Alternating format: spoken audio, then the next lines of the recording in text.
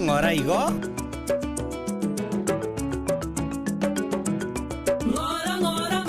ai mbuya mono omwana one ekiagera kwamanyire ng'a ebinto mbia ng'ora nsagasaga bikwanga abakoro batebete tari inche nateba Ba- We are in Kawakom CP Falls Wet Processing Mill.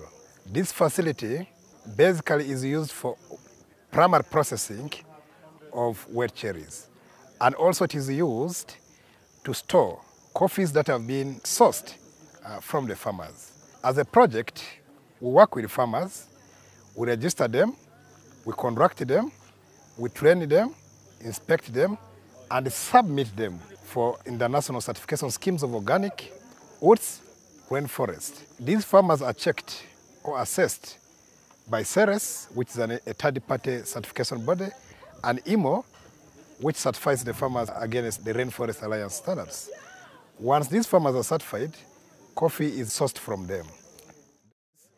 We train the farmers on good agricultural practices, certification standards, climate smart agriculture strategy, occupational health and safety. The idea behind the training is to coach the farmers to do good practices in their farm such that the productivity in the farms could increase, which will eventually give uh, better incomes uh, for the farm families. Primarily, that's uh, how we engage the farmers. Above all, regarding marketing, we run a network of 10 marketing uh, centers or collection units. And each farmer attached to each uh, collection unit buying center. And farmers come and sell their coffees in the buying uh, center.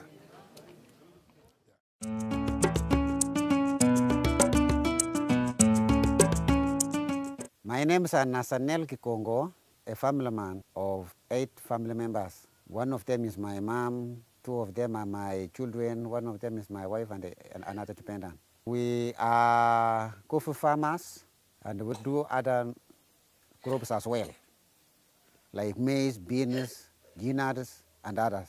I am a motor farmer registered with Kawacom, Uganda. And I am registered as Organic UTZ Rainforest Alliance farmer, model farmer of Manaria Parish. I came to be modeled by Kawacom after working with them. And I am now two years old since I worked with them. Now, after giving me that training, they also asked me to disseminate the same information to my fellow farmers.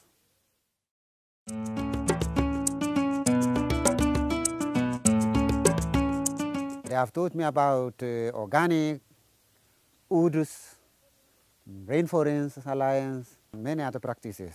They have taught a number of things in order to make or to meet their requirements, as they are also supposed to meet a set requirements by the buyers. When I meet those requirements, then automatically my immediate buyers, Kawacom, will meet the, will meet the same requirements and I will be able to fetch price, whichever one wants, me inclusive.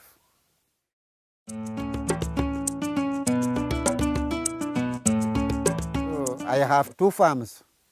Below A contains 300 coffee trees, and below B contains 1,000 coffee trees. I am doing it organically. When I say organically, I say agrochemical free. And the alternative I am using it is I am applying local knowledge, like local manure. I decompose my local manure compost and feed my uh, plantations so as to give me better yields as I expect them because my field is an ecosystem which depends on me and me on them. I used to, uh, to accommodate eucalyptus trees in my plantation, especially below A. There were many, but when they came and told me about the dangers of the eucalyptus trees, so I had to remove them. I harvested them, sold them off, and paid my child school fees, which was in Hilton High School.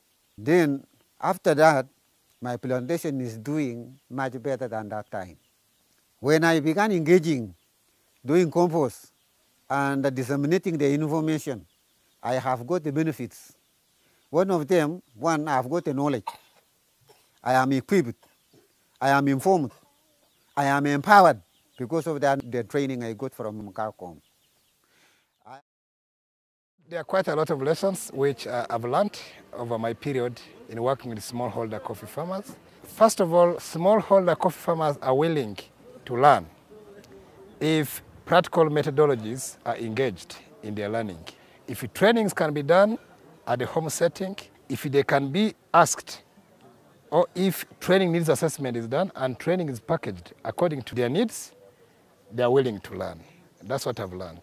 And adoption is based on one, the way the training is conducted, and the resources which the learner has. I have also friends because while teaching other farmers, then they become friends. They, they pay visits to me.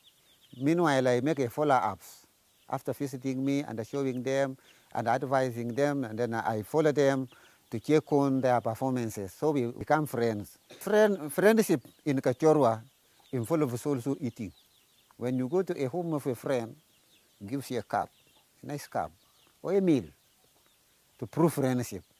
So during the course of doing all those things, I have acquired those things. Two, I'm able to speak to anybody, friends at home, and even friends from outside, outside my village, my parish, my district, even outside Uganda.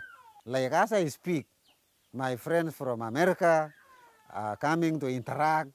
I interact with the lecturers. Yesterday we interacted with a lecturer coming from Makerere University to tell us a biosystems engineering course is.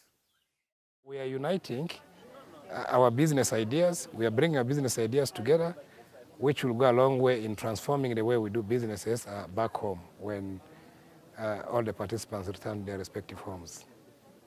They gave me the knowledge, not me alone, with the other motor farmers, and uh, we disseminated that knowledge to other farmers. We told them agrochemicals is dangerous to life. And we taught them all principles of agrochemicals and the use of PPEs. In the Kawacom case, what I see is that this contract farming model is a good one because this contract farming addresses the problem of quality. And we know that the main problem of uh, producers is related to quality because if you haven't quality, you can't get any more good prices. Kawacom contract with some allow them to have the best prices. So the certification uh, assessments that they have and the prices linked to this uh, to this certification. On the other hand, what I can add in this uh, business model is that we need the presence of government and the presence of civil society organization which can help and encourage farmers in their capacities to become the best player in this, in this contract.